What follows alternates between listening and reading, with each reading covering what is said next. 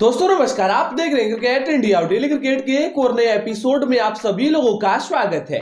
आज तारीख हो चुकी है उनतीस अक्टूबर 2022 और इस वीडियो में हम बात करने वाले हैं आज दिन भर की क्रिकेट से जुड़ी सभी टॉप खबरों के बारे में, जहाँ पर एक तरफ़ साल 2022 का सबसे बड़ा टूर्नामेंट यानी ICC match T twenty world cup two में टीम इंडिया के अगले महामुकाबले की शुरुआत से पहले आप सभी भारतीय क्रिकेट फैंस के लिए दो तीन बड़ी बड़ी खबरें ब्रेकिंग न्यूज़ निकल कर आ रही है। वही दूसरी तरफ़ टाटा आईपीएल 2023 के लिए दिल्ली कैपिटल्स की टीम ने अपने रिलीज़ प्लेयर की लिस्ट को ऑफिशियली जारी कर दिया है। और उसके अलावा भी यहाँ पर क्रिकेट से जुड़ी हुई काफ़ी सारी बड़ी बड़ी खबरें निकल कर आ रही है। और इस वीडियो में हम इन सभी खबरों को वन बाई वन पूरी तरह से एनालिसिस करने वाले हैं। इसीलिए आप इस वीडियो को अंत तक ज़रूर देखते रहिए। इस वीडियो को लाइक और शेयर ज़रूर कर दीजिए। क्रिकेट से जुड़ी हर छोटी बड़ी खबर सबसे पहले पाने के लिए वीडियो के नीचे से चैनल को सब्सक्राइब करके बेल आइकन ज़रूर दबा देना।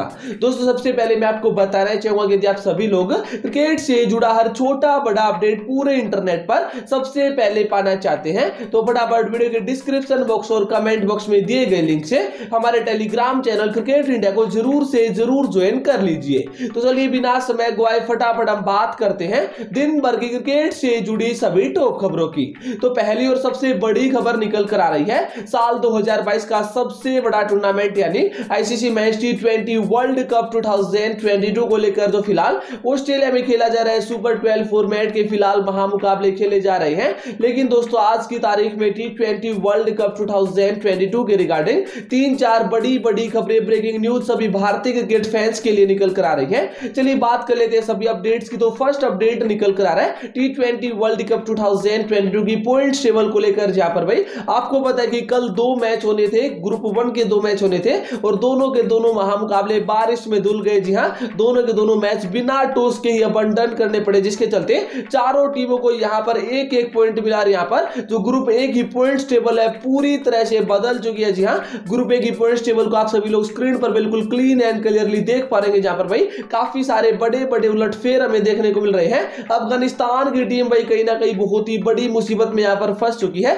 टॉपर आपकी न्यूजीलैंड की टीम लेकिन दोस्तों पूरे सिनेरियो के ऊपर आप क्या सोचते हैं, आप हमें कमेंट बॉक्स में अपनी राय ज़रूर देना।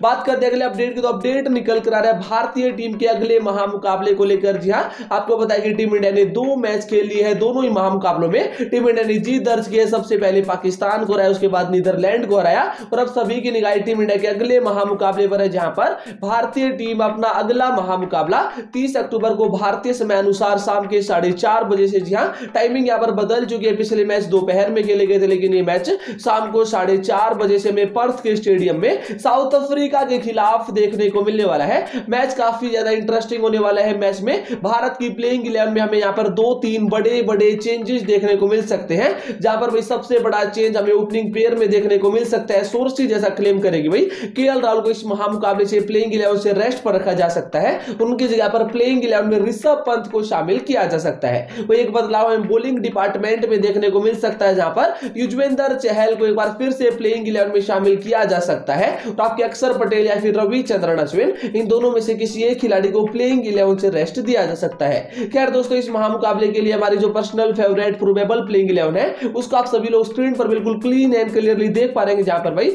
मेरे मुताबिक तो ऐसी प्लेइंग इलेवन होने वाली, लेकिन आपके मुताबिक क्या होनी चाहिए इस तीसरे महामुकाबले के लिए भारत की प्लेइंग इलेवन आप हमें कमेंट बॉक्स में अपनी राय ज़रूर देना।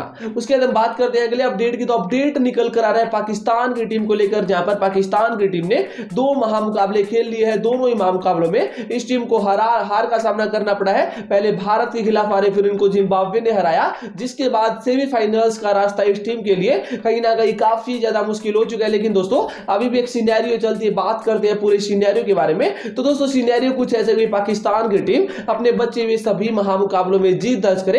भारतीय टीम भी अपने बच्चे हुए सभी महामुकाबले में जीत दर्ज करे और उसके बाद साउथ अफ्रीका और जिम्बाब्वे दोनों टीमें दो दो मैच यहाँ पर हार जाए ऐसे में भारत और पाकिस्तान दोनों टीमें सेमीफाइनल्स में क्वालिफाई कर जाएगी। लेकिन दोस्तों, आपको पता है कि जब सीनेरियोज बनने शुरू हो जाते हैं तो वहाँ पर कहीं ना कहीं आपकी उम्मीदें खत्म हो ही जाती है। आप 90 परसेंट यहाँ पर बाहर हो चुके हैं। लेकिन दोस्तों, अगर कोई चमत्कार होता है, कोई अपडेट आता है तो अपडेट आपको सबसे पहले अपने चैनल पर ही देखने को मिलने वाला है। उसके बाद बात करते हैं अगली खबर की तो यह खबर निकल कर आ रही है। क्रिकेट का महासंग्राम यानी टाटा आईपीएल 2023 को लेकर यह बड़ी खबर है। ब्रेकिंग न्यूज़ है जहाँ पर भाई। आपको ऑलरेडी पता है कि 16 दिसंबर को भारतीय समय अनुसार शाम के तीन बजे से हमें बेंगलुरु में आईपीएल के ऑक्शन देखने को मिलने वाला हालाँकि ऑक्शन के वेन्यू को लेकर अभी भी सस्पेंस जा रहे कुछ सोर्सेज ऐसा क्लेम करेंगे भाई टर्की में हमें अब की बार ऑक्शन देखने को मिलेंगे। लेकिन दोस्तों, सबसे बड़ा सवाल कि आखिर कब जारी होगी? सभी टीमों की रिलीज़ प्लेयर लिस्ट तो दोस्तों, काफ़ी सारी टीमों ने यहाँ पर अपनी अपनी स्टेटमेंट्स मतलब स्टेटमेंट्स देनी शुरू कर दी। जहाँ पर भाई,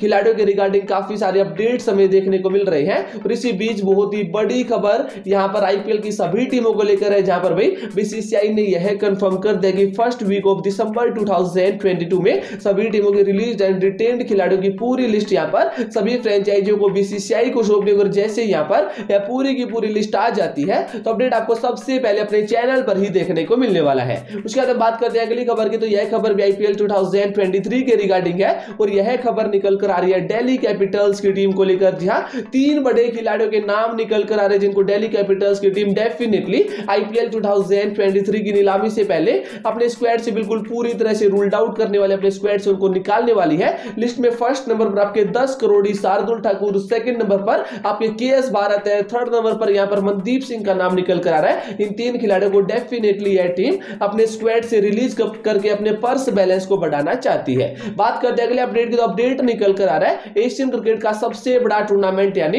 एशिया कप 2023 को लेकर जहाँ पर होस्टिंग के ऊपर फ़िलहाल बहुत ही बड़ा सस्पेंस बना हुआ है, पाकिस्तान में एशिया कप नहीं होगा।